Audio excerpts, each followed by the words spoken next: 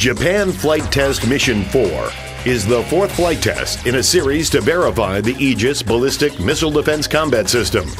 Today's test mission will give the crew of JS Kirishima an opportunity to track and engage a medium range ballistic target missile with an SM 3 Block 1A missile.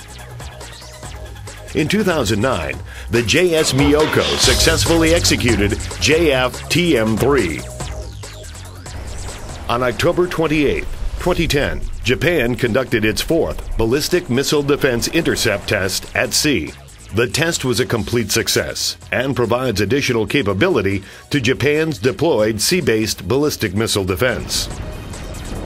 A medium range ballistic missile target was launched from the Pacific Missile Range facility on the island of Kauai. The target flew a nominal trajectory, the JS Kirishima was positioned over about 250 nautical miles off the coast. The ship was fully manned by officers and sailors of the Japan Maritime Self Defense Force. The ship's crew used their upgraded Aegis weapon system and training to program the Spy 1 radar to perform a search designed for achieving the BMD mission objectives. The JFTM4 is a no notice flight test in which only the trusted agents actually know the launch window for the target missile. The crew is totally unaware of the MRT launch. As the target rose above the horizon, the Spy 1 radar acquired the target and placed it in track. The weapon system developed a unique fire control solution, and that information was uploaded into the missile. Approximately three minutes after the target launch, the ship's crew fired the SM 3 Block 1A. Numerous land and air based sensors observed the missile's flyout. The destroyer's radar tracked the target throughout the flight, and the weapon system provided guidance and target information to the SM 3. After first stage burnout and separation, the second stage ignited. Then, after second stage burnout and separation, the third stage ignited, propelling the missile into space. After an interpulse delay, the second pulse of the third stage ignited, putting the missile on a predicted intercept trajectory.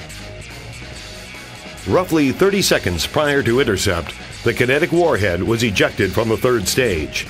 The KW acquired the target, performed aim point selection, and maneuvered for a hit to kill intercept. The target image grew in the field of view. A direct hit. The kinetic energy from the impact is calculated to be in excess of 125 megajoules, the equivalent of a 10 ton truck traveling over 600 miles per hour. Numerous ground, sea, and air based sensors observe the intercept. This test was another major milestone and reinforces Japan's position as the only other country to possess an upper tier ballistic missile defense capability with the ability to intercept threats well above the Earth's atmosphere.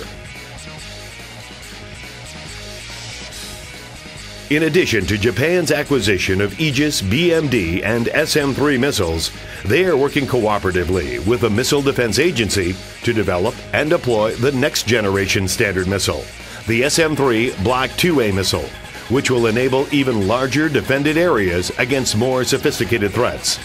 Coupled with Japan's Patriot weapon system, Japan truly has a layered ballistic missile defense capability. Japan Aegis Ballistic Missile Defense on target.